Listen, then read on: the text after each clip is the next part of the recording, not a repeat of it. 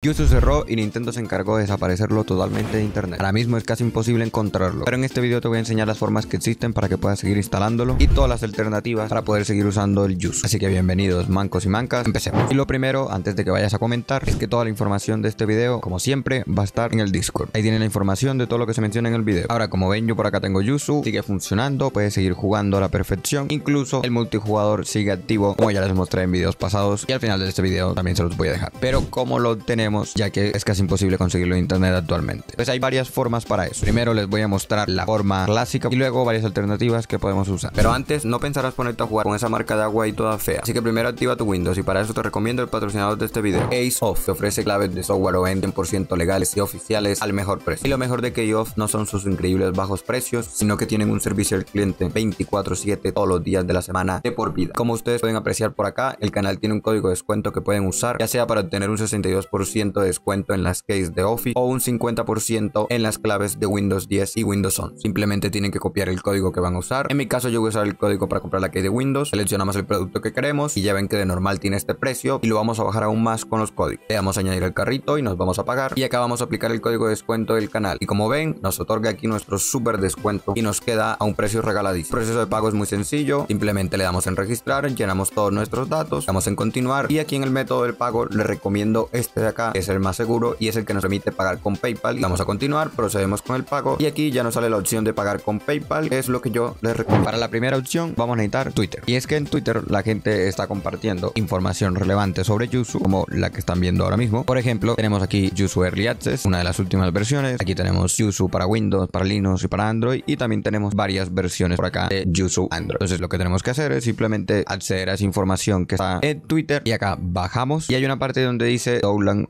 Y ahí aparecen varias opciones. Casi siempre, si es la versión de Windows, va a estar en la parte de Seed. Por ejemplo, en esta que es User Early Access, si le dan a Seed, automáticamente pues, obtienen esa versión. Pero por acá, para los que les interesa la versión normal, o la versión de Linux, o la versión de Android, y bajamos las opciones de Download Option, hay una opción de Android, ya sea la opción Early Access o la opción normal. Y aquí en la opción de Seed, como ya les dije, aparece una opción de User Early Access y la opción de Windows, la normal, la rojita, la de toda la vida. Si quieren ver la opción de Linux, tienen que darle aquí donde dice Show All, que le muestre todo. Y aquí miren que ya lo divide por Android, Linux y Windows. Y si le dan aquí al Linux, ya les aparece la versión de Linux, tanto la normal como la Early Access. Para la de Windows, si tienen que, si quieren la versión Early Access, hacer como les mostré anteriormente, porque aquí solo desaparece la normal. Lo que está haciendo esta gente de Twitter es usar la página de archive.org, que ahí almacenan archivos de internet, páginas viejas y cosas por ese estilo. Es como una biblioteca gigante donde se almacenan muchas cosas. Pero ojito, ya les mostré en un video anterior que Nintendo puede espiarlos si tienen estas versiones de Yuzu viejas, porque tienen activadas las opciones de telemetría que le envían información al Team Pero ahora que eso lo controla Nintendo, pues eso. Para eso lo que tienen que hacer es desactivar ciertas cositas. Vamos aquí a emulación, nos vamos a configurar y aquí donde dice web vamos a desactivar esta opción que dice compartir datos de uso anónimo y aquí en sistema nos vamos aquí a la opción de Apple, esta opción de acuerdo acá y vamos a desactivar esta opción que dice error, lo vamos a poner en custom fronter, la opción que dice online web también la vamos a poner en custom fronter y listo. En teoría con esto ya estaría. Sin embargo, para estar aún más seguro, le vamos a dar aquí donde dice archivo, le vamos a dar en abrir carpeta del Yuzu y aquí vamos a buscar la carpeta que se llama config, aquí le vamos a buscar la opción que llama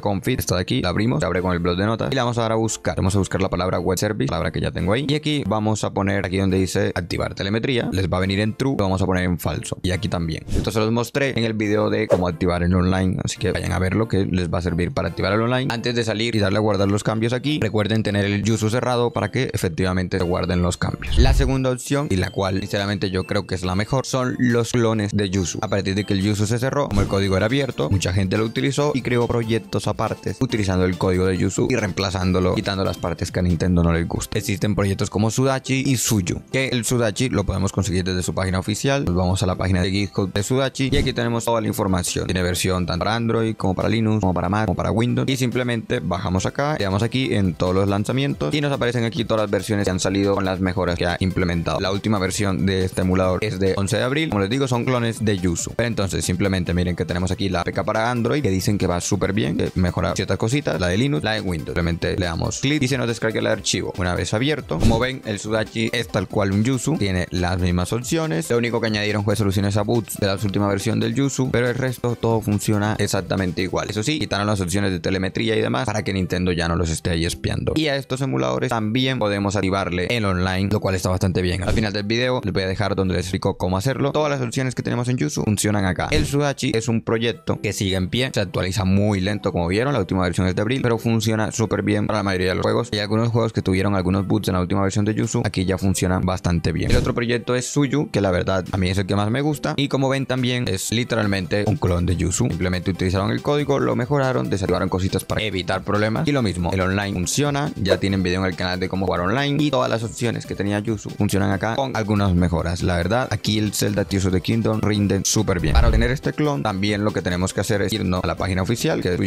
Y si le damos aquí en obtener suyo, nos lleva a las dos diferentes versiones que sacó. Aquí tenemos versión para Linux, versión para Android, versión para Mac y tenemos versión para Windows. Este proyecto sí está pausado, es decir, que ya no van a sacar más actualizaciones, por lo menos no hasta nuevo aviso, pero para los juegos que existen actualmente funciona súper bien. Este es el que yo uso generalmente en directo, porque la verdad me parece el más sencillo de descargar y es súper estable. Antes de indicarles cómo saber cómo activar el online en estos clones de Yuzu, nos queda la tercera opción. Y esa tercera opción es utilizar Ryunjins. Ryunjins, a diferencia de los emuladores anteriores, no es un clon de Yuzu, sino que es un emulador aparte. Ya existía antes de que el Yuzu cerrara y funciona bastante bien. De hecho, tiene su propio sistema online que funciona como en la Nintendo Switch. Simplemente tú entras a buscar online y te aparece toda la gente que está buscando. No tiene un sistema de salas. Los juegos aquí son muchísimo más estables. Eso sí, el Ryunjin consume un poquito más de recursos. Entonces vas a disminuir tus FPS, unos 10, 20 FPS dependiendo de tu PC. Pero generalmente aquí los juegos no tienen ningún problema. Y hay juegos como el Splatoon 3, como el Red Dead Redemption, como el Metroid, como el Luigi Mansion 3 que van mucho mejor y que de hecho en Yuzu prácticamente no funcionan y acá sí. Entonces, mi recomendación, probar también este emulador, ver cuál les va mejor, si los clones de Yuzu o las versiones viejas de Yuzu o este emulador. Les digo aquí en online funciona bastante distinto, de hecho este online me parece mejor para jugar con amigos, aunque los online de los clones de Yuzu tienen mucha más gente jugando. Entonces, si van a jugar con random, sí recomiendo aquellos. De hecho, una ventaja que tienen los clones de Yuzu, ya sea Sudachi o sea Suyu, es que ustedes pueden combinar sus archivos con los archivos que ya tenían en Yuzu. Es decir, yo puedo elegir aquí en el emulador, ya les mostré un video sobre eso, vayan a verlo, cómo compartir mis juegos, mis DLCs, mis updates, mis mods, todo lo que tenía Yuzu, ponerlo aquí en estos clones sin tener que volver a descargar cosas o copiar de un lado a otro. En Ryunjin podemos hacer algo similar y es pasar los mods y las partidas guardadas de Yuzu a Ryunjin. También tienen un video en el canal, vayan a verlo, pero lo que son los DLCs y demás que ya teníamos instalados no lo podemos pasar porque aquí no se instala. Toca tener los archivos sí o sí, entonces tocaría volver a descargar esos DLCs y esas updates que ya borramos. Con los clones de Yuzu sí podemos combinar las carpetas y literal que sea solo haciendo dos clics pasarnos todos. Entonces ahí tienen ventajas y desventajas. De hecho, si quieren un video de ventajas y desventajas de cada uno de los emuladores que existen, coméntenlo acá abajo para que ustedes puedan tomar una mejor decisión. Pero por ahora, vayan probando todos. Y como ven, siguen existiendo alternativas para poder seguir usando Yuzu o poder seguir emulando la Nintendo Switch. Entonces, les voy a dejar por acá la guía de Ryunjin, la guía de Suyu y cómo jugar online en estos emuladores para que puedan seguir emulando sus juegos de Nintendo Switch. Les recuerdo que todos los videos en el canal donde hablo de Yuzu, todos esos videos funcionan para los emuladores que son clones de Yuzu como el suyo y demás. Y que todos los mods funcionan tanto en Ryunjin como en los clones de Yuzu. Así que básicamente todo el contenido del canal lo pueden seguir usando. Suscríbete que subo mucho contenido de emuladores. Los quiero mucho. Bye.